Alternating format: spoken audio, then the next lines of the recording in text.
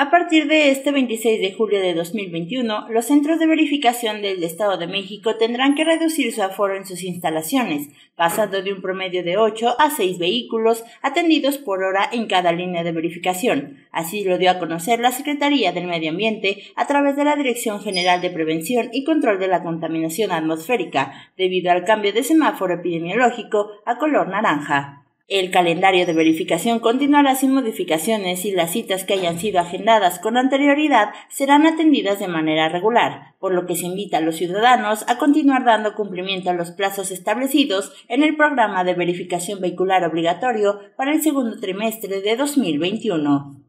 Los automóviles que tengan placa con terminación 5 o 6 deberán realizar la verificación durante los meses de julio y agosto. Con terminación de 7 u 8 será en los meses de agosto y septiembre. Con terminación 3 o 4 será en los meses de septiembre y octubre. Para terminación 1 y 2 será en octubre y noviembre. Y para las placas con terminación 9 o 0 será de noviembre a diciembre de 2021. Para mayor información, la Dirección General de Prevención y Control de la Contaminación Atmosférica pone a disposición el correo atnpublico.smagem.net y los teléfonos 55 53 66 82 67 y 722 238 22 68. Reportó para Canal 6 Cecilia González.